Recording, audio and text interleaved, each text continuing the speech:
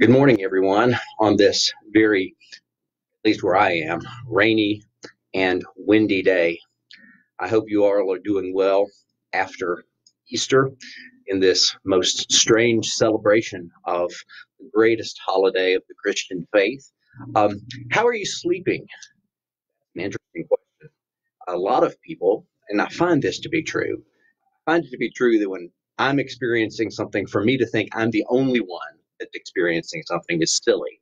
And uh, so all you have to do is Google search for um, sleep problems during coronavirus, and, and you'll find all sorts of things. And uh, one of the things that I guess that, that I'm experiencing now is vivid dreams that I haven't had uh, that type of dream since childhood. Uh, I go to sleep at night, and in the morning, I remember this entirely amazing plot that has unfolded throughout the night.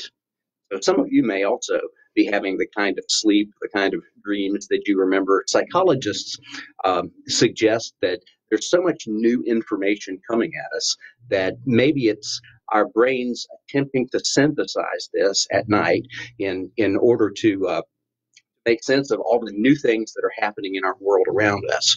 But whatever the case is, there are a lot of people that are experiencing vivid dreams, incredibly memorable dreams, and uh, dreams that have a sophisticated plot structure. And uh, as I said, the dreams that I've had over the last several nights have had a sophisticated plot structure, uh, the likes of which I haven't seen since probably my teenage years or, or maybe late teen years uh, it's an incredible kind of thing that that we're going through. So if you are experiencing some kind of sleep disruption during the coronavirus pandemic, you're actually not alone. The other thing that psychologists are looking at is the fact that there are a lot of people whose sleep schedules have changed a bit. Um, it doesn't take a lot of time to get up and fix your hair in the morning if you're not going anywhere um, a lot of folks are sleeping later than they usually sleep. And so uh, the majority of the population is having a, a sleep um, cycle that's very much like retired people. So I want to share with you my favorite sleep verse in the Bible. Um, my dreams that, that I've talked about are not actually bad dreams, they're just exhausting, uh, action esque action movie type dreams, and maybe I've seen one too many action movies, and that's where all of that comes from. But when I go to sleep at night, uh, Psalm 4 8 is often a psalm that I repeat in my mind.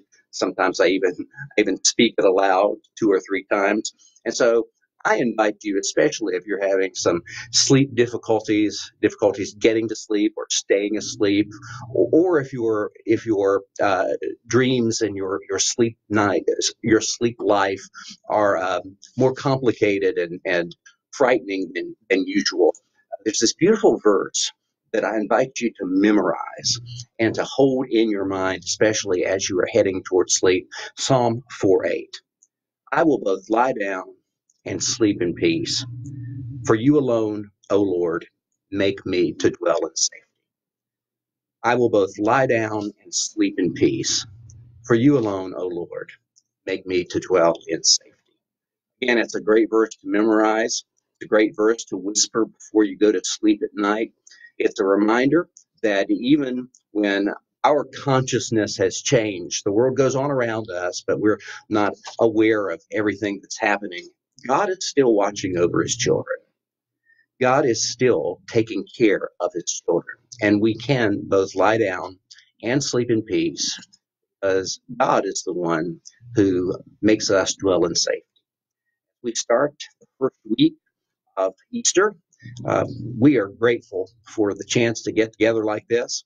And I pray that the first week following Easter for you is blessed is memorable for positive things and finds you looking for some kind of adventure in this season of life that is unprecedented for most of us, but gives us many opportunities to be creative, many chances to do things that maybe we've wanted to do, but are just now getting to. Thanks for tuning in. God bless you today.